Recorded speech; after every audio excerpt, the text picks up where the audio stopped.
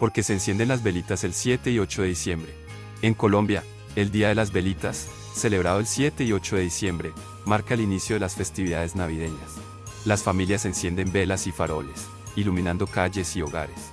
Aunque tiene raíces religiosas como vigilia a la Inmaculada Concepción de la Virgen María, trasciende lo religioso, convirtiéndose en una festividad que une a personas de distintas creencias en la tradición de pedir deseos para el nuevo año.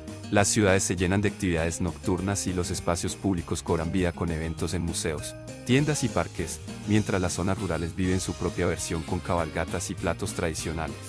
Este día, la luz de las velitas y faroles adorna ventanas, balcones y puertas, tejiendo una red luminosa que une a toda la comunidad en una atmósfera de alegría y esperanza.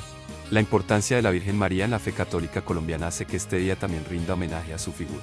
La proclamación de la Inmaculada Concepción por el Papa Pío IX en 1854 estableció el 8 de diciembre como su fiesta, y así, tanto el 7 como el 8, se convierten en momentos para honrar su papel en la fe del país. El Día de las Velitas es más que una celebración religiosa, es un evento que une a colombianos de diversas procedencias en una tradición que trasciende fronteras, iluminando no solo las calles, sino también los corazones de quienes participan en esta hermosa festividad.